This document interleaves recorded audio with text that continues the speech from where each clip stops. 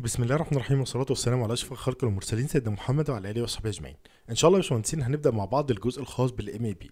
هنبدأ ناخد المشروع بتاعنا اللي هو ال Revit المعماري اللي عندنا ده ونبدأ نعمل الشغل الخاص بال MEP عليه. قبل ما نبدأ مشروع ال MEP يا باشمهندسين لازم يكون عندنا template، يعني إيه template يا باشمهندسين؟ يعني زي نظام اسطمبة. عندك حاجة كل مشروع أنت موجود فيها كل الحاجات اللي أنت بتستخدمها. إيه هي ال ducts اللي أنت بتستخدمها؟ أنواع ال piping اللي أنت بتستخدمها، الأكسسوارز، كل الكلام اللي أنت محتاجه موجود جوه ال template ده. إحنا بنعمله مرة واحدة خلال المشروع بنتعب فيه بس بعد كده بيكون جاهز معانا في كل المشاريع بعد كده بإذن الله تعالى. فتعالوا نتوكل على بركة الله ونعمل أول حاجة ال template بتاعنا اللي إحنا هنستخدمه في ال mechanical. وزي ما قلت لحضرتك ومعلش هو أول مرة هيبقى ممل بس بعد كده خلاص هو هيكون معاك في كل المشاريع. أول حاجة بعمل من هنا من قائمة file بقول له new وبختار من هنا يا باشمهندسين إن أنا أعمل new project لو أنا عايز أعمل new project تمام؟ ده أصلا يعني دي شكل الشاشة عندنا أدي ال start عندنا ال screen بالشكل ده. تمام؟ فبقول من هنا كده new new project بالشكل ده. فباجي من هنا بدل كلمة project بقول له حاجة اسمها project template حاجة اسمها مين؟ project template وبعمل هنا browse عشان أختار ال English. عايز عايزها تكون آه، اللي هي الوحدات ال metric مش عايز الانش والبوصة والكلام ده كله يعني. فاجي من هنا هنلاحظ إن دي كل ال template الموجودة عندنا بالشكل ده كده يا باشمهندسين. أهو.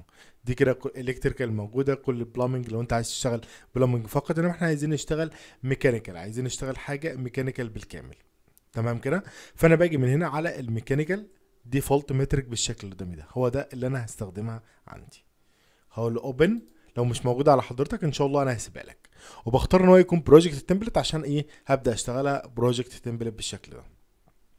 هيبدأ البرنامج يحمل لي ال template اللي هي الجاهزة الموجودة عنده بالشكل اللي قدامنا ده كده يا باشمهندسين.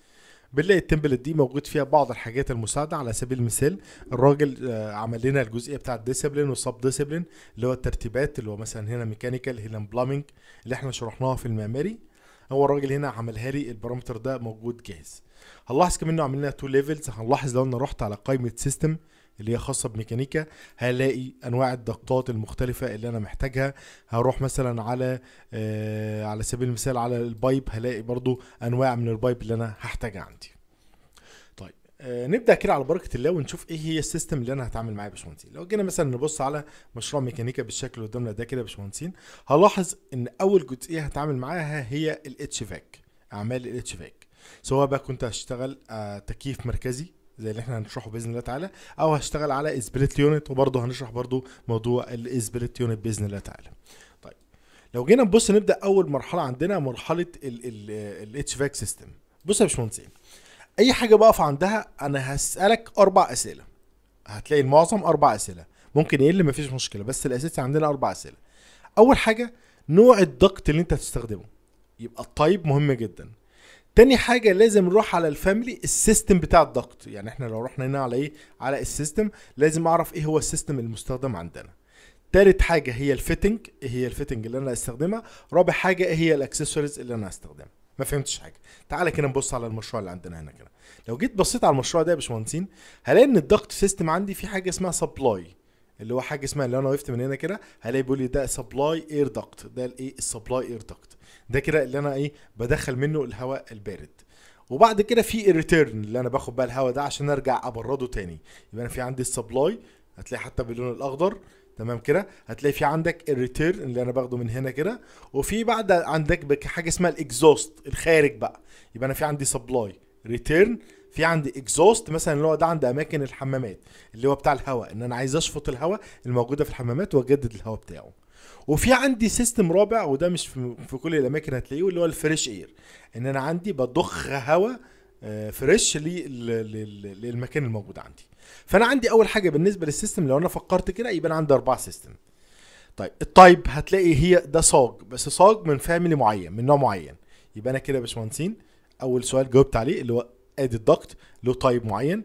ادي ال system في عندي أربع system في عندي exhaust في عندي supply في عندي return واقول له من هنا كده duplicate وادي له rename واقول له في عندي ده اسمه fresh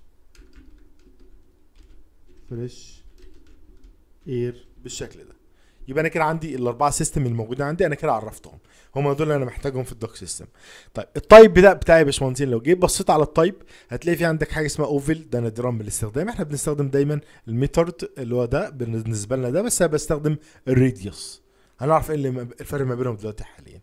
ال round ده يا باشمهندسين لو أنا ما عنديش سقف ساقط لو أنا مثلا عندي المشروع بتاعي مثلا مكتب مثلا وبدون سقف ساقط بدون ceiling فما فيش ceiling فأنا محتاج الحاجة يكون شكلها حلو فبنعملها round بنعملها دوران.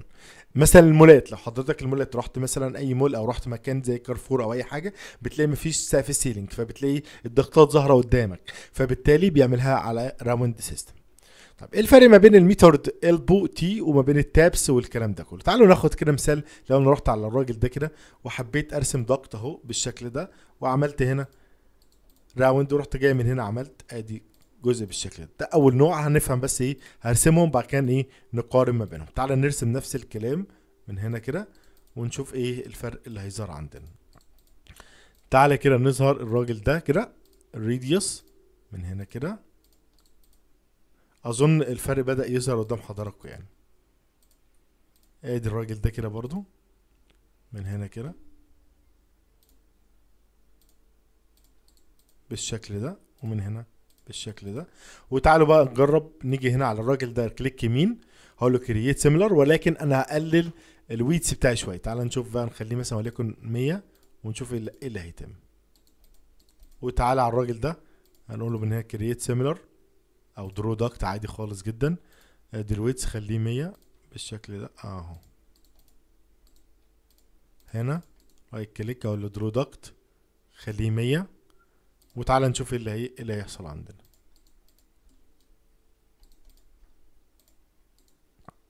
draw duct هصغر القطر اخليه 100 وأقول له بالشكل ده.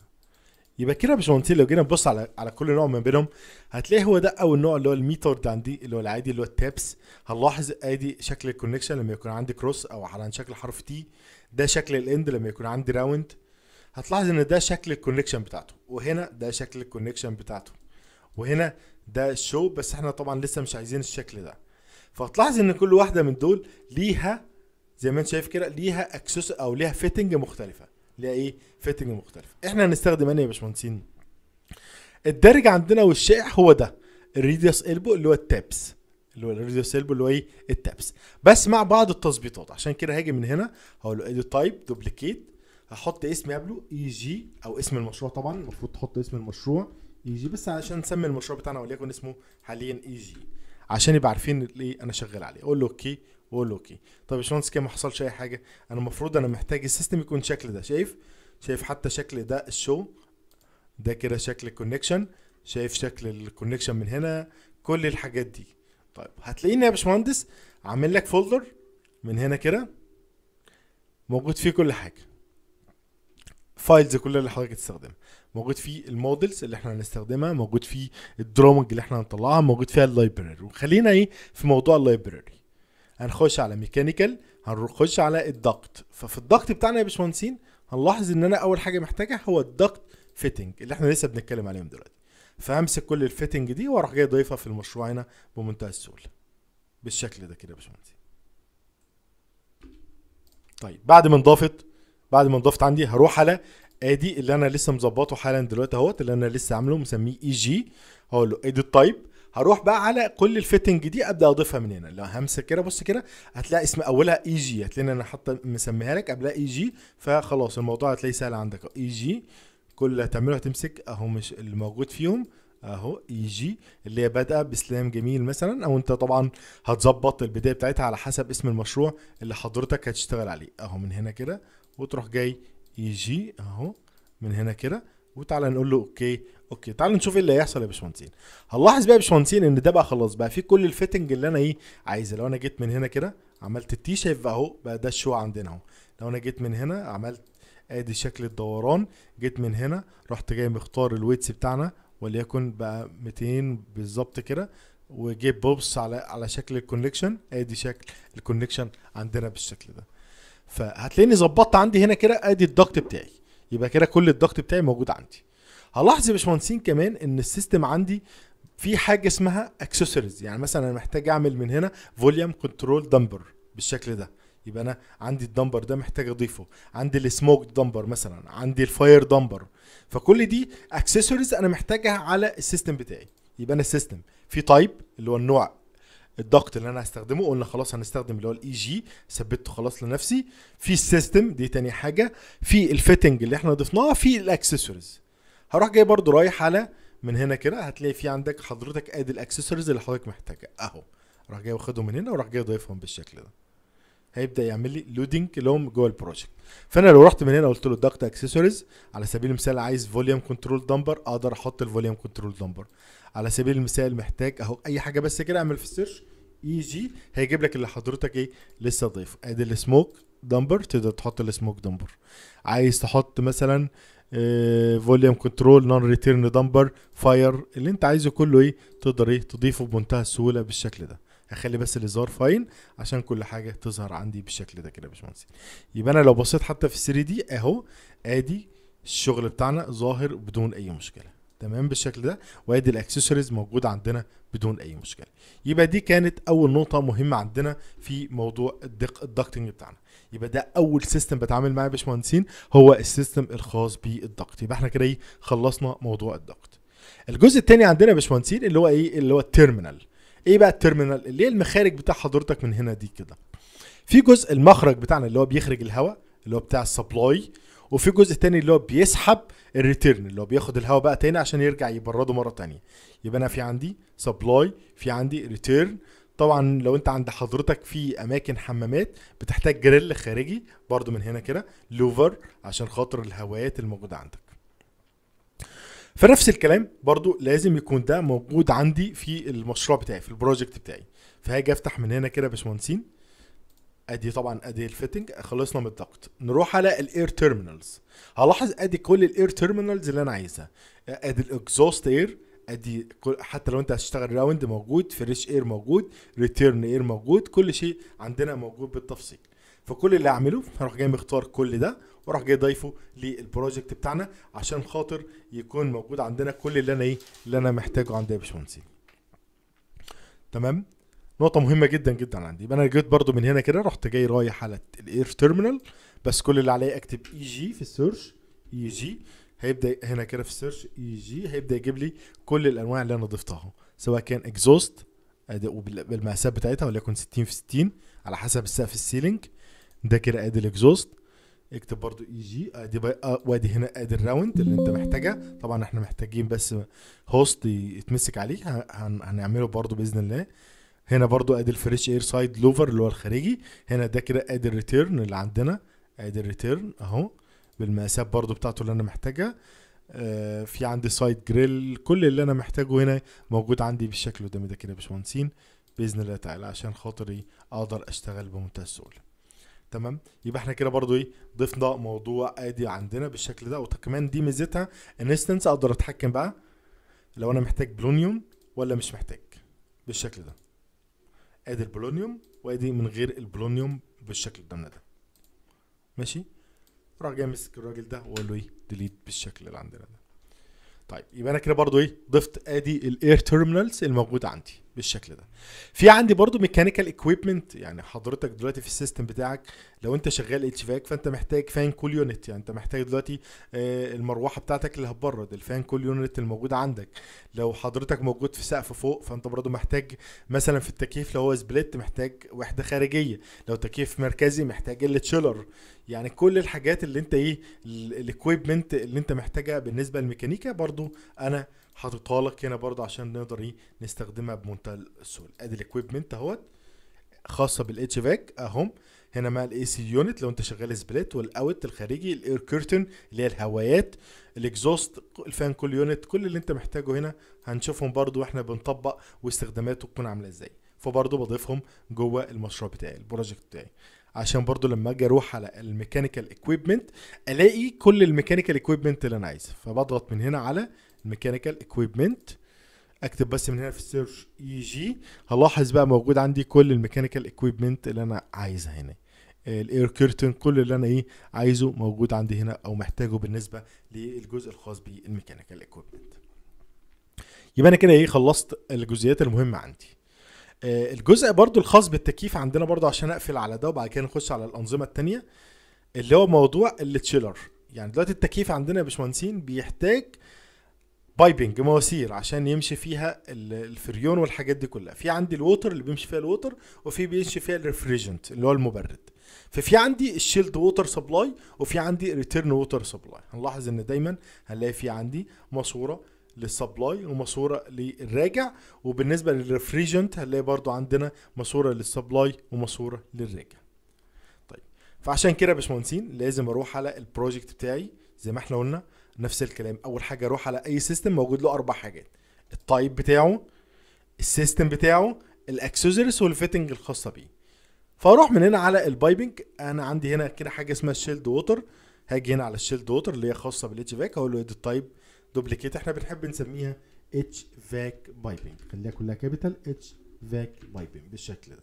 HVP اللي هو ال HVAC piping واقول له okay.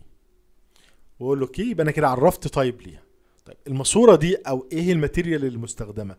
إيه هي ال material اللي إحنا بنستخدمها عندنا يا باشمهندسين في المواسير دي؟ دايما يا باشمهندسين بيكون عندنا نوعين copper و steel type إيه؟ copper إيه و steel type إيه فإحنا عندنا على سبيل المثال لما بيكون عندي ال size مثلا من 6 مللي إحنا طبعا الأفضل يكون من أول 6 مللي لحد 25 مللي ده بيكون copper إيه ده بيكون إيه؟ copper إيه وطبعا ده بيكون ضمن مواصفات المشروع. على سبيل المثال مثلا لو عندك مثلا مشروع زي ده خلينا مثلا نقول files مثلا عندك دي مثلا sample هرفعها لكم PDF لو فتحنا مثلا ال HVP مثلا system أهو. ال HVAC piping هنلاقي عندي في عندي دايما ال chilled water supply وال chilled water return يبقى أنا عندي ال chilled water supply وال chilled water return وفي عندي ال refrigerant المبرد بقى عندنا ال return وال supply تمام؟ لو جينا نبص دايما على ال material هتلاقي دايما المفروض توصيف لل material عندنا. هيقول لك هنا مثلا all chilled water piping shall be steel carbon schedule 4 يعني ال chilled pipe كذا. وال refrigerant piping shall be copper يبقى إحنا عندنا ال refrigerant pipe اللي هي بيكون الأقطار بتاعتها صغيرة ماشي 6 مللي والكلام ده كله. فبيكون من إيه؟ من ال copper وماشي ومي- وبعد كده الأقطار الكبيرة اللي هي خاصة بال chilled بيكون من الكربون أو ال steel تمام؟ فأنا بيبقى عندي أربع system عشان كده بقول لحضرتك بيكون في أربع system فأنا بختار من هنا يكون كربون وده بيكون steel schedule 40 ماشي؟ يبقى ده كده من هنا برضو آه آه لسه هنتكلم على الجزئية دي دلوقتي.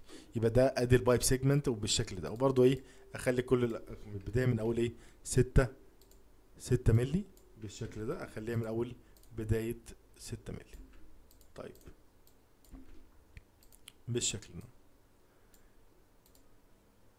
بالشكل ده كده يا باشمهندسين نقول له okay. ماشي؟ طيب. آه، ده كده ال pipe نفسها. لو أنا جيت رسمت مثلا pipe بالشكل ده أهو ده ال pipe نفسها يا باشمهندسين. لازم الإظهار تخليه fine عشان يظهر معاك. لو أنا مسكت ال pipe دي أعرف اولا إيه هو ال system type بتاعها. لو جيت بصيت كده إيه هو ال system type بتاع دي كلها عندي هنا دي كلها أنواع ال system pipe. في ال HVAC عندنا يا باشمهندسين لازم نروح كده على آدي ال piping system. ال HVAC زي ما إحنا قلنا فيه أربعة system. فمثلا على سبيل المثال أنا أروح على ال hydronic مثلا ده و supply مثلا أقول له إيه؟ duplicate ففي عندي يا باشمهندسين أول حاجة ال chilled water زي ما إحنا قلنا. chilled water supply وبعد كده في عندي ال chilled water duplicate هنا ال chilled water return return بالشكل ده. وفي عندي ال refrigerant water duplicate بالشكل ده كده يا باشمهندسين. هقول من هنا كده. refrigerant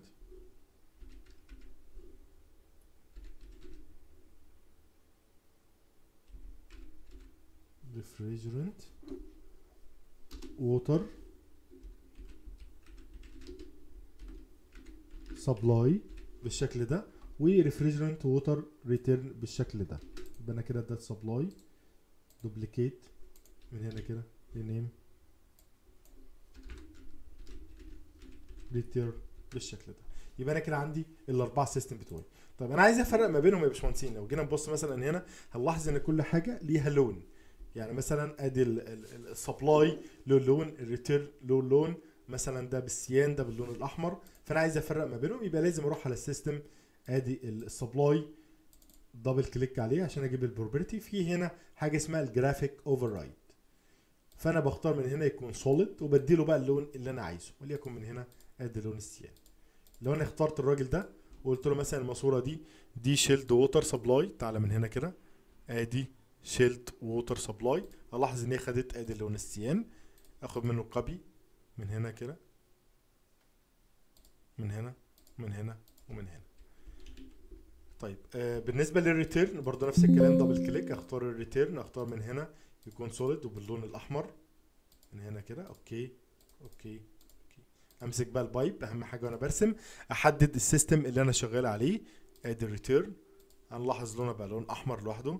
هنا كده ال refrigerant ال refrigerant سواء كان supply أو return إحنا بنخليه باللون آه ال orange مثلا. فأنا بختار من هنا برضو من هنا آدي. graphic solid وبختار وليكن اللون بالشكل ده. اهو البرتقاني بالشكل ده. ومن هنا ادي ال return أختار من هنا ادي الشكل ده. وادي من هنا ادي الشكل ده. طيب يا باشمهندسين دلوقتي أنا عرفت ال type أدي سميته من هنا كده. أدي ال HVP system ماشي ال HVAC piping وعرفت ال system. زي ما إحنا قلنا فاضل عندي إيه؟ الفيتنج والأكسسوارز. الفيتنج والأكسسوارز الموجودة عندي. فهروح بنفس الأسلوب يا باشمهندسين. هروح على ال library بتاعتنا ادي ال library mechanical هروح على ال pipe ادي ال pipe fitting هنلاقي هنا الأنواع بتاعتنا. زي ما إحنا قلنا في عندي copper A اللي إحنا هنستخدمه فبهضيف ال copper A تمام؟ عشان لسه عندنا في الصرف الصحي في ال drainage أنا آسف في الصحي لسه في عندنا ال UPVC ونفس الكلام في المية ال UPV ال PVC برضو عندنا. فاختار برضو ده وأضيفه من هنا كده. بالشكل ده باشمهندسين. أهو. وممكن أضيف برضو ال PVC بالبرة عشان إيه لما أجي أشتغل ال drainage يبقى أنا إيه موجود عندي جوه ال template بتاعي بمنتهى السهولة. طيب ضفت ال fitting دول يا باشمهندسين؟ أو يبقى أنا محتاج أعمل إيه؟ أروح جاي بقى محتاج أروح جاي مختار الراجل ده أو أقصد يعني ال type ده وأروح جاي داخل على edit type ما انساش أهم حاجة أغير آدي ال material عندنا بالشكل ده. أهو. وأجي بقى هنا على القلبه كل اللي عليه آدي ال EG إحنا قلنا خلاص من 6 مللي لحد 25 مللي إحنا قلنا ده نخليه copper A تمام؟ فعشان كده لازم اختار الجزء الخاص بال carbon ال copper أهو.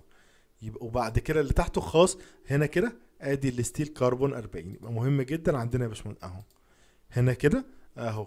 ده كده آدي ال copper A واللي تحته يكون steel carbon اللي هو schedule مش ال PVC اللي هو ال steel carbon أهو. هنا كده ال copper هنا كده آدي ال steel carbon هنا كده آدي ال copper فين ال copper؟ آدي ال copper A؟ وهنا آدي ال steel carbon schedule 40 هنا كده هنضيف برضو لو في حاجة زي كده مفيش فيها الاثنين أضيف بقى هنا. فأختار من دي يكون زي ما إحنا قلنا ال copper A؟ وبرضه يكون من 6 مللي لحد 25 لحد 25 مللي. والراجل المحترم ده من أول 32 لحد 600 مللي واختار ال type بتاعه EG. أهم حاجة تكون بادئ ب EG. آه زي ما إحنا قلنا steel carbon بالشكل ده. هنا مش محتاجه هنا بالشكل ده كده يا باشمهندسين. آدي carbon A وآدي الراجل ده المحترم. هنا آدي ال steel من هنا كده بالشكل ده. تعالى كده آدي ال steel. تعالى أقول له okay okay. طب يا باشمهندس هو هيفهم الكلام ده إزاي؟ تعالى بقى نرسم تاني. هقول له من هنا create similar أو CS اختار من هنا يكون ال diameter وليكن 8 مللي. تعالى نشوف هيرسم إيه بالظبط. تعالى كده لو أنا رسمت أدي ال diameter 8 مللي. بص كده ال 8 مللي. هو أوتوماتيك اداله مين؟ ال material كام؟ هو أوتوماتيك اداله copper A على طول؟ طب تعالى كده وراح جاي مختاره ده بدل 8 مللي زوده كده خليه خليه مثلا وليكن 32 خليه خليه 40 مللي. هو أوتوماتيك اداله مين؟ steel carbon automatic على طول. يبقى ده كده خلاص بقى copper A؟ وده كده بقى steel carbon على طول موجود عندنا. مجرد بس إن هو بيشوف إيه ال system. طيب هنشوف كمان هنلاحظ كمان شكل ال fitting هيختلف. لو أنا مثلا جيت من هنا عملت كده زاوية 90 هو اوتوماتيك حط. لو أنا عملت ال intersection من هنا بالشكل ده.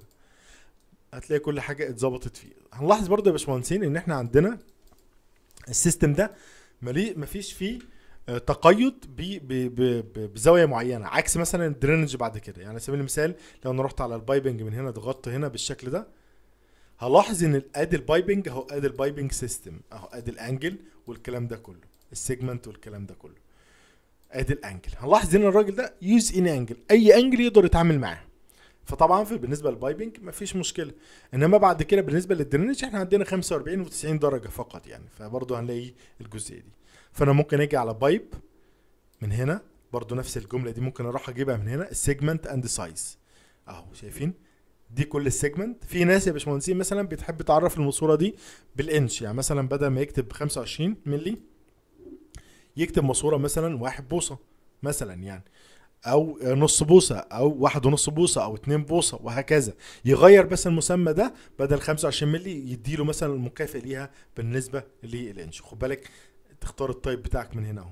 أدي أدي ال carbon A وأدي ال- ال steel carbon schedule 40 تقدر تعدل وتضيف size وت- وتحذف size واللي أنت عايزه. هنا الزوايا تقدر زي ما إحنا قلنا نقدر نستخدم أي angle أو أقدر أحدد له زوايا بعينها بس. هي دي اللي تستخدم تشتغل عليها طبعا هنا هنقول له use any angle وبالنسبة كمان لل slopes ممكن نضيف كمان slope نص في المية بس ده طبعا هنحتاجه مع ال drainage مش هنا. إحنا كده كده بنحتاجش ال slope هنا حاليا بالشكل ده. يبقى أنا كده إيه عرفت ادي ال piping بتاعتي وادي شكل ال system بتاعي بمنتهى السهولة يا باشمهندسين وادي الرسومات اللي عندي. فاضل عندي آخر حاجة فيها يكون الأكسسوارز. إيه هي بقى الأكسسوارز؟ أدي نروح برضو من هنا كده. أدي ال pipe accessories الموجود عندنا الحاجات اللي إحنا إيه اكسسوار اللي إحنا هنحتاجها عندنا في المشروع بتاعنا زي ال check valve ال return valve كمان ال water meter الحاجات دي كلها. ال joining لو أنا عندي Y joining مثلا عندي ماسورة وماسورة وعايز أربط ما بينهم. على سبيل المثال آه هنحتاجها كتير جدا ال Y join ديت. ثانية واحدة. كده بس. بيحط كل الايه آه، ال pipe accessories خد بالك ده أول system عندنا في ال pipe. لسه عندنا في ال drainage system في عندنا ال fire fighting في عند ال water supply system كل ده لسه هنتكلم عنه. هاجي من هنا مثلا على سبيل المثال لو أنا عندي pipe مثلا 150 مللي أهو. بالشكل ده. ال pipe دي مثلا أقدر أحط عليها من هنا من ال system أقول له pipe accessories وليكن عندي ال Y join بالشكل ده أهو. أدي ال Y join بالشكل ده. أقف هنا أقول له draw pipe. هو طبعا عشان خاطر محتاج القطر يكون عشرين مللي إحنا واخدين قطر كبير قوي ليكن عشرين أهو. أقدر من هنا أربط ده بده منتهى السهولة بالشكل ده أهو. وأقدر أجيب pipe تاني أقول له create similar أجي من هنا أو أجي من هنا أقول له أقف عليها draw pipe أدي وصلة وأدي وصلة تانية أقدر أضيفها بمنتهى السهولة من هنا. يعني دي من ضمن الايه آه، الأجزاء الموجودة عندنا يعني بالنسبة لإيه للأكسسوارز وهكذا يعني. تقدر تضيف أي اكسسوارز تانية. هنحتاجها إحنا شغالين أثناء ال project بتاعنا. إن شاء الله هنبدأ إيه نتكلم فيها على طول بإذن الله تعالى. يبقى أنا كده إيه ضفت الجزء بتاعت ال piping system وضفت الجزئية بتاعتها ده. فاضل عندنا بقى باشمهندسين نتكلم على ال drainage system وال fire fighting system وال water supply system خلينا نخليهم في فيديو تاني عشان ما نطولش أكتر من كده عليكم. شكرا والسلام عليكم ورحمة الله وبركاته.